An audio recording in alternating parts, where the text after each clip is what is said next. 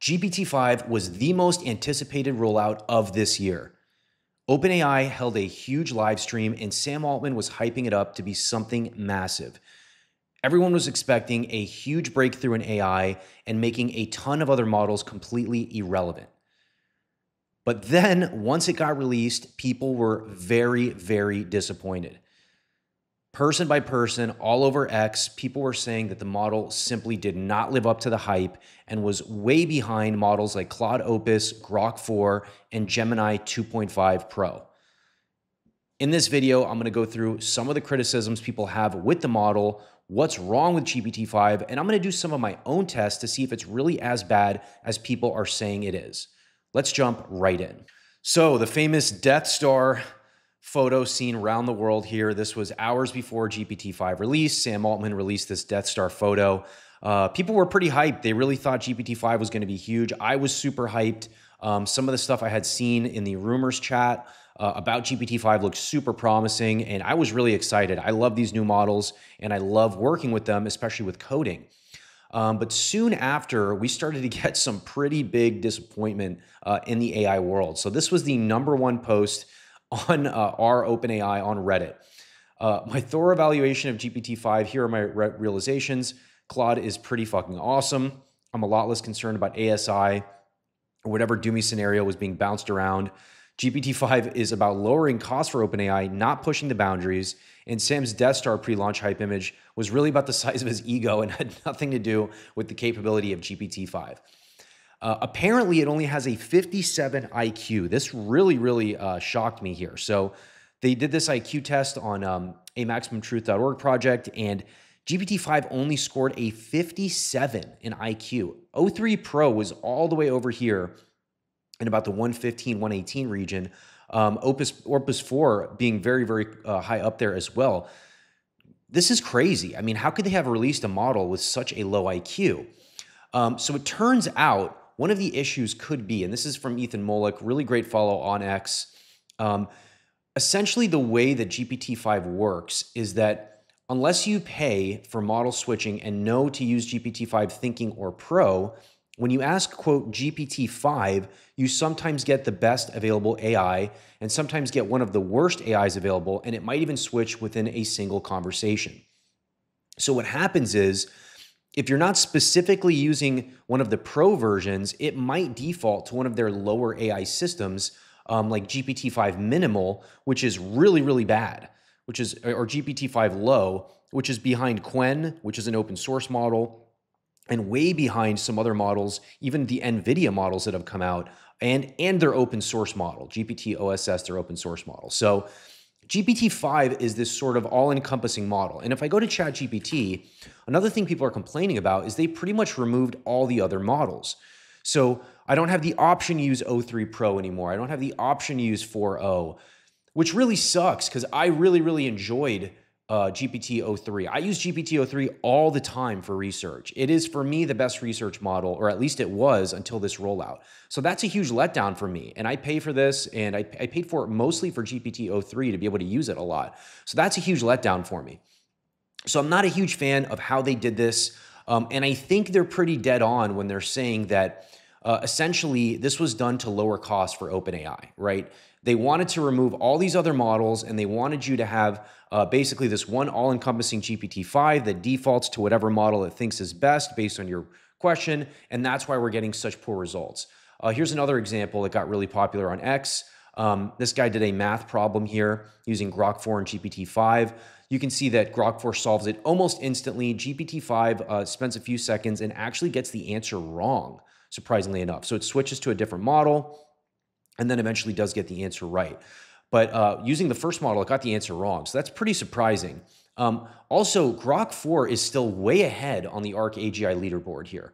Uh, GPT-5 High is beating Opus 4, um, but still way, way behind Grok 4. So the Grok team definitely has been cooking, and I'm really excited for the next level of Grok, uh, you know, Grok 4.5, Grok 5, whatever it is. Um, a little bit more GPT-5 hate here. This is Levels.io. He's huge on X. Uh, I hate GPT-5. It's so bad. It's so lazy. And it won't let me switch back to 4.0 because I'm on Plus. This really might make me switch to Anthropic's app now. I'm annoyed. This is making my productivity 10x lower. I thought this was really funny. He had GPT-5 refactor his whole code base, um, and it, it, it, cleaned it up and made it beautiful, but none of it worked. so I thought that was kind of funny. Um, we already looked at this, the IQ, and some funny memes here. This is actually really surprising though. Qwen, again, this is an open source model, beat GPT-5 in simple math. Not a good look for GPT-5 whatsoever. And uh, I think they might have gone backwards a little bit here. So I ran some tests of my own. I'm going to show you what those look like uh, right now. So here's a few quick examples from Web Arena. And so we have a password strength checker here. So I have a password in here and we're going to check the strength. We're getting a score of 70 out of 100 here. If I put the same password in the Gemini 2.5 Pro, I'm getting strong. This is using five different uh, parameters, so at least eight characters and all of these parameters. Um, it's using actually a lot more parameters here in GPT-5, and it even gave us a password generator. But I like this design so much more with 2.5, uh, Gemini 2.5 that I think GPT-5 did a good job, but I still prefer 2.5 Pro. Another example here is Claude Opus 4.1 versus GPT-5. This is a speed typing test. So I tested both of these.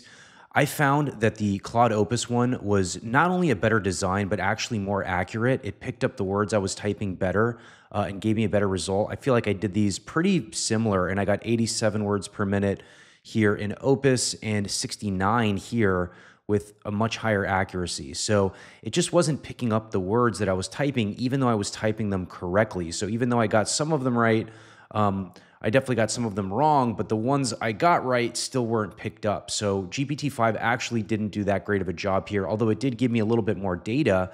Um, the design was not as good and it actually didn't do as good of a job on the actual accuracy of the test. So Claude Opus 4.1 definitely won here.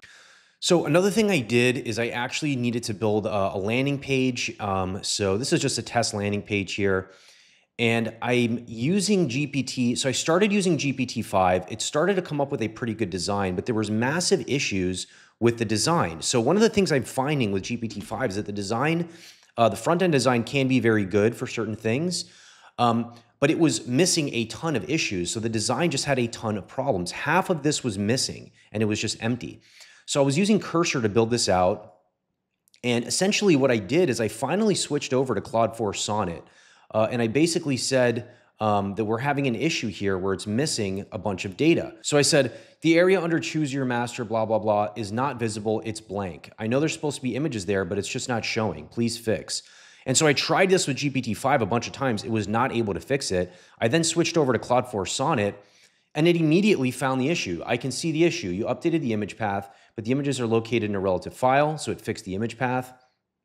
And then it found another issue, that the reveal class had the opacity set to zero. So GPT-5 just did not do a good job of coding this. Uh, it, it came up with an interesting design, but it couldn't actually do the critical thinking to solve the problem and fix it. Uh, Claude 4 Sonnet came in and absolutely crushed it and fixed that problem. So um, I'm going to be sticking to Claude 4 Sonnet for coding for now. Uh, I am not going to be using GPT-5. I've tried it. I've been very, very disappointed with it so far um, in a bunch of different tasks. So um, as of right now, uh, I am with a lot of people online. I am not a huge fan of GPT-5, although it does do a pretty good job sometimes. Um, I don't think it's quite as bad as people are making it out to be. Um, I just think that they overhyped it and that it turned out to uh, essentially be a little bit of a letdown, but it's still pretty good at some things. Still not good enough to compete with Claude uh, in the coding realm. And um, yeah, I think unless they have a massive breakthrough with GPT-6, and this was supposed to be their big breakthrough, GPT-5, uh, I think they're going to start getting lapped. I think Grok is really on their tail. I think Google is right on their tail. Um, and Claude has been beating them this whole time with coding. So uh, left a lot to be desired. Uh, that's for sure. And uh, we can see uh, someone here like King Kari getting very, very upset um, where they're getting cut off. We're reaching the cutoff with only three more web calls available. So he's not happy about that uh, as well. And uh, another funny meme here the GPT-5 we were promised and the GPT-5 we were delivered. So um, love to hear your thoughts on this. Drop a comment. Let me know how your experience has been with GPT-5. Um, subscribe to the channel if you want to see more content like this, more breaking news, more commentary on the AI world.